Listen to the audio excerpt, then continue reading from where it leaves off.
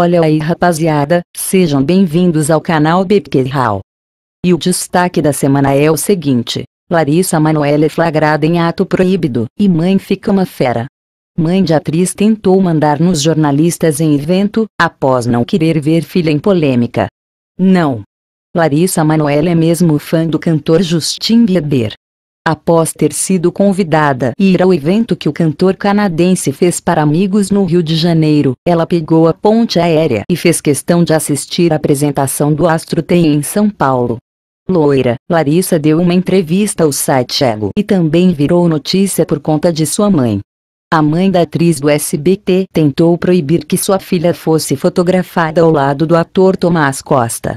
Sobre o show, a entrevistada pelo Ego desabafou feliz da vida, já que é realmente uma das garotas que teve a cabeça mexida pelo ex da atriz e cantora Selena Gomez. Eu achei maravilhoso. Ele consegue se superar a cada show. Já tinha visto no Rio, mas foi legal do mesmo jeito. Sou muito fã, disse ela aos jornalistas.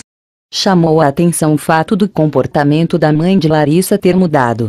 Nas outras ocasiões, ela até permitiu que a imprensa fotografasse sua filha ao lado do ator Tomás Costa, ex-namorado da profissional da dramaturgia.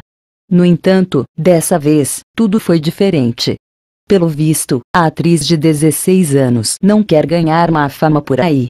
E você, o que acha? Deixe o seu comentário, e não se esqueça de se inscrever no canal.